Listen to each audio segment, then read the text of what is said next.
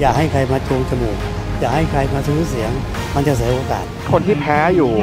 ถ้าเขาเดินหนักขึ้นเขาอาจจะชนะก็ได้ ตอนนี้นะคะก็เห็นว่าดิฉันจะใส่ชุดในตรีมของชุดล้านนาคซึ่งก็อยู่ในงานสงกรานต์ชาวเหนือนั่นเองค่ะ แล้วก็วันนี้นะคะ ประธานที่มาเปิดงานก็คือนายสมชายวงสวัสดิ์ซึ่งก็เป็นน้องเขยของอดีตนายกรัฐมนตรี ทักษิณชินวัตรนั่นเองนะคะ ซึ่งก็มาเปิดงานพร้อมกับสสกรุงเทพมหานครของพรรคเพื่อไทยหลายคนเลยค่ะ ซึ่งอันนี้นะคะจะเป็นการดึงคุณสมชายเข้ามาช่วยหาเสียงในช่วงของโค้งสุดท้ายก่อนการเลือกตั้งหรือไม่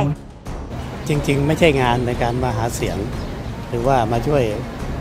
พวกพวกพี่น้องเดินเดินสายแต่ยังไงเพราะว่าเขามีงานสงการของชาวเหนือนะครับ ในฐานะที่ผมเนี่ยก็อยู่คุกคลีอยู่กับคนเมืองเหนือนะว่างั้นเถอะก็รู้จัก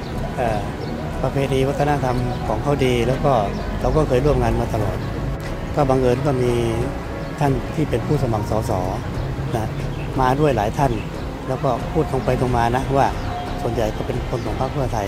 แต่เราก็คุยกันว่านี่เราไม่ได้มาหาเสียงทั้งถ้าพรรคไหนที่พี่น้องคิดว่าช่วยได้ มั่นใจนะว่านโยบายของเขาเขาพูดแล้วเขาทำได้เขาทำจริงเขาเคยมีผลงานให้เห็น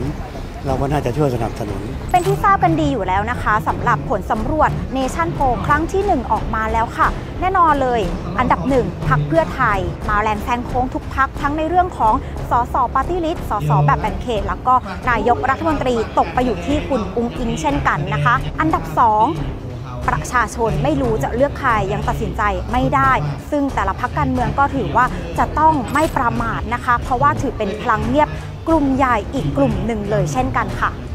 และแม้เพื่อไทยมาเป็นอันดับหนึ่ง แต่คุณบุ๊กดนุพรคณะกรรมการประสานงาน พื้นที่กรุงเทพมหานครก็ออกมายืนยันค่ะว่า เพื่อไทยได้อันดับหนึ่งไม่สามารถนอนอยู่บ้านได้ ก็จะต้องลงพื้นที่หาเสียงเหมือนเดิมเช่นกันค่ะ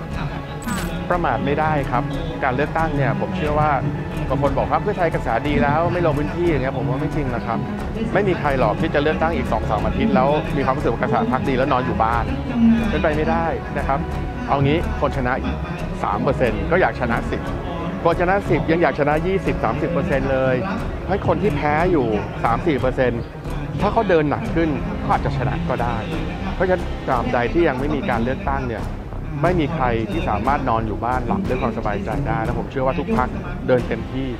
อันดับสามจะเป็นพรรคก้าวไกลเนี่ยค่ะครับ เรากลัวว่าในส่วนที่จะมาแย่งคะแนนเสียงของเราไปด้วยหรือเปล่าคะจริงๆ ทุกพักหวงคะแนนหมดแล้วล่ะแต่ว่าใครใครยังไม่ตัดสินใจก็อยากให้เลือกเราให้มากที่สุดนะครับ แต่ผมว่าอันนี้อยู่ที่พี่น้องประชาชนแล้วล่ะครับ เราเราเราพยายามทำหน้าที่ของเราให้สมบูรณ์ที่สุดนะครับในการที่จะเสนอนโยบายไปดีเบต